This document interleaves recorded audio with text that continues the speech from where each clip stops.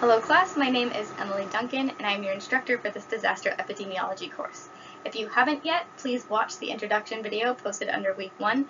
It'll provide a little bit more information about me, communication methods, additional information of what to expect over the semester, and information about uh, this course just in general.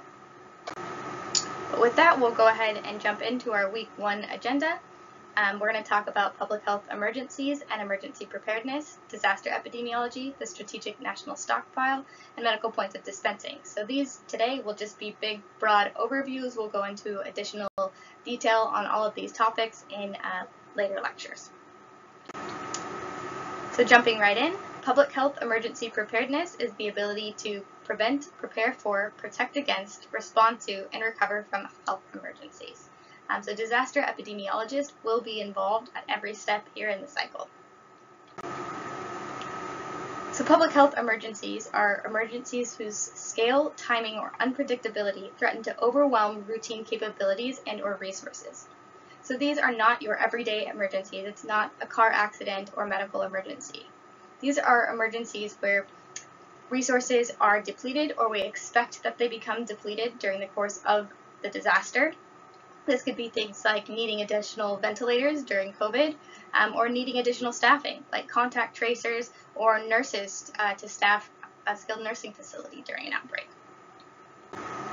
So what is disaster epidemiology? It's simply epidemiology applied in disaster settings.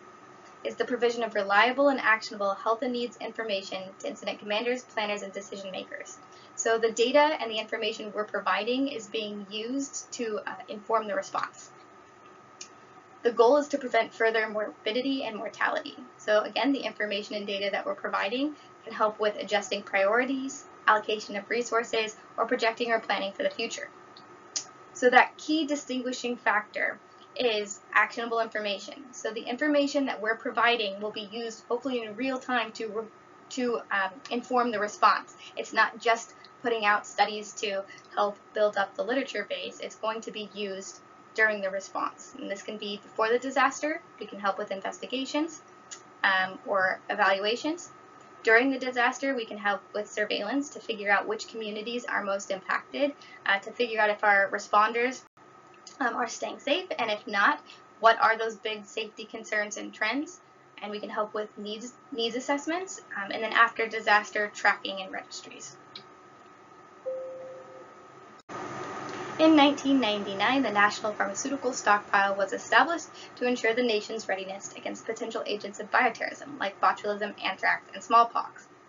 After the September 11, 2001 terrorist attacks, the federal government decided to strengthen public health readiness and officially established the Strategic National Stockpile in 2003, expanding the medical countermeasures to be able to respond to public health emergencies outside of just bioterrorism.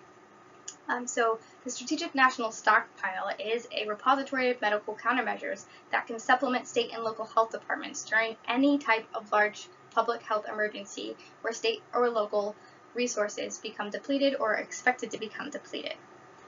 Resources can be delivered to any state within the United States within 12 hours of activation. So examples of times that the SNS have been activated um, include in 2005 during Hurricane Katrina and Rita, more than 3,500 beds and critical medications were sent out. More than 130,000 tetanus and diphtheria vaccines and 145,000 hepatitis A and B vaccines were, de were delivered to Louisiana. During 2009, um, influenza vaccines were sent to help with H1N1 pandemic. In 2020, more than 27,535 tons of cargo were shipped to support the United States efforts and state um, PPE needs, with more than 748 flights, 5,745 trucks transporting supplies, and that was just as of August of 2022.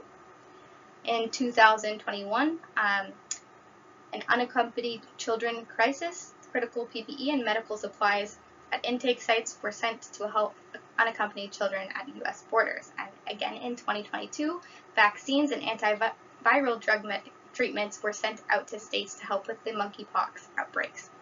So you can see that the SNS is activated for a range of uh, different emergencies um, and life-saving supplies can be sent to any state.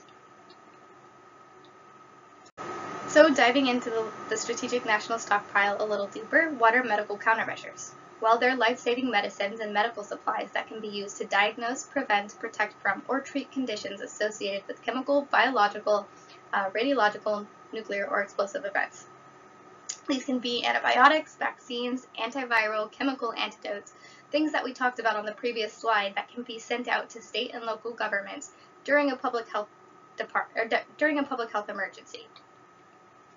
Um, an area within the SNS is ChemPack. So these are containers of nerve agent antidotes to allow rapid response to a chemical incident. And these are housed um, at hospitals or at first responder agencies. They are confidential locations, uh, but they are almost 2,000 containers that are strategically placed in 1340 locations across the United States.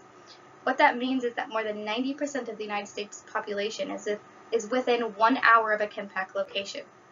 This is important because unlike most of the incidents where uh, the Strategic National Stockpile is deployed, the 12-hour deployment window is too long for a nerve agent incident. So we have pre-positioned these containers so that from the event of a ner nerve agent incident, these containers are there and they're readily available. So once the SNS is activated, the federal government sends resources to the state or local health department, but it is up to the local health department to dispense these prophylaxis to their community. So during a bioterrorist event um, or a pandemic, they do that through points of dispensing or medical points of dispensing called MPODs. And these are locations organized by public health to dispense prophylaxis to large numbers of people to prevent, minimize, or treat disease in response to public health threats. So the idea behind these is that they are mass dispensing sites that were originated again in response to bioterrorism. So they originated such that the local health department needed to be able to dispense prophylaxis to the entire community within 48 hours. So the goal here is fast. So there are medical versus non-medical MPODs, depending on what is being dispensed. So medical MPODs are those with vaccines, those that require a nurse to be able to dispense. But during something such as an, an anthrax attacks, where it's dox, doxy or cipro that are being provided, uh, you actually don't need a nurse to do that. So that is a non-medical pod because you can use volunteers or your public health, other non-medical staff to dispense these. And there are different modalities here. You can have a walk-up clinic or a drive-through. So during uh, COVID, when we had these large mass vaccination clinics, that those were MPODs, and some of those were drive-through, some of those were walk-up.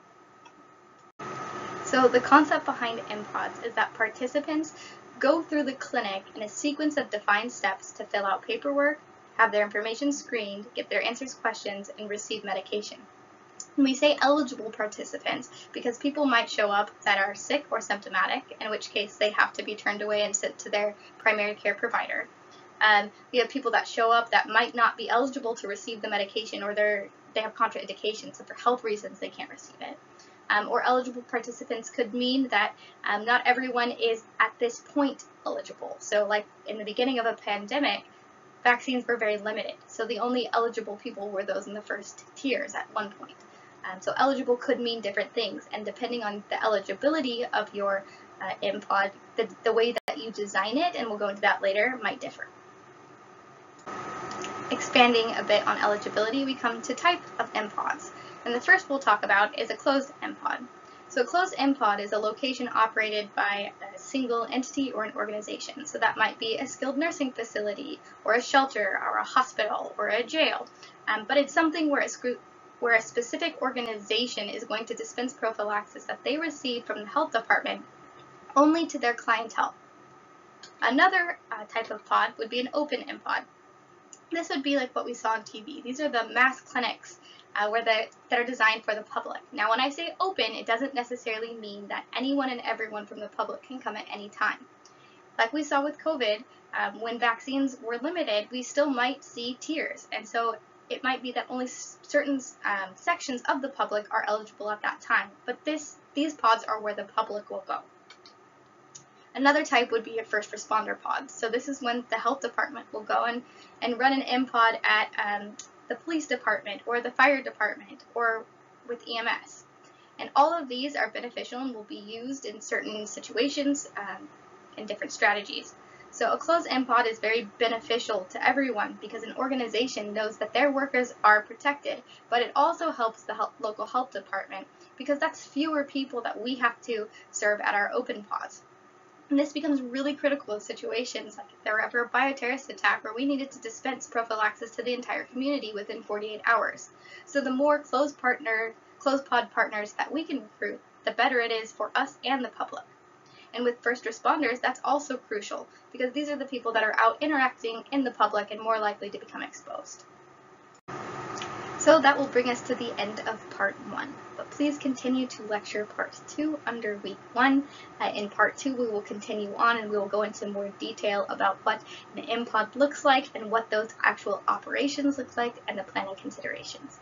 So thank you and I'll see you soon.